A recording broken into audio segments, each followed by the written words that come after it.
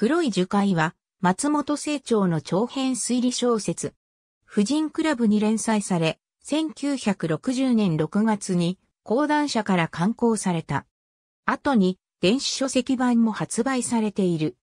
姉を失った女性記者がバス事故に橋を発した連続殺人事件の謎を追跡するサスペンスミステリー。数ある松本清張の作品の中でも旅情ミステリーの傑作と評される作品。バス事故の起こった踏切の場所は作中ではぼかされている。また、山梨県の箱島駅周辺に事件の手がかりとなる人物がいる設定となっている。1960年に大英で映画化、また5度テレビドラマ化された。翔子の姉、信子は仙台へ旅に出たはずだったが、浜松市付近のバス事故で死んでいた。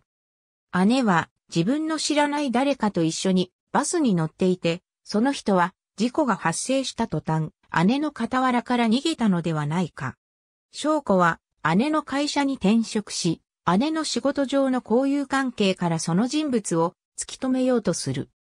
当初一人だった翔子の調査に協力者が現れ、堅くなだった翔子の心の壁も徐々に開かれていくが、先回りする犯人によって次々に周辺人物が殺されてしまう。1960年12月14日に公開。制作は大英東京、配給は大英。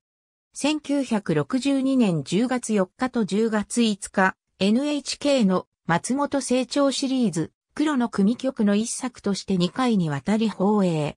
松本清張の黒い樹海。1986年1月4日、テレビ朝日系列の土曜ワイド劇場枠にて放映。視聴率21.1%。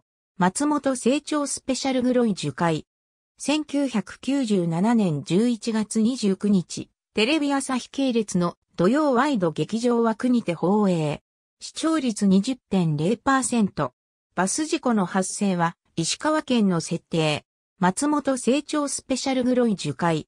2005年10月21日、フジテレビ系列の金曜エンタテイメント枠にて放映。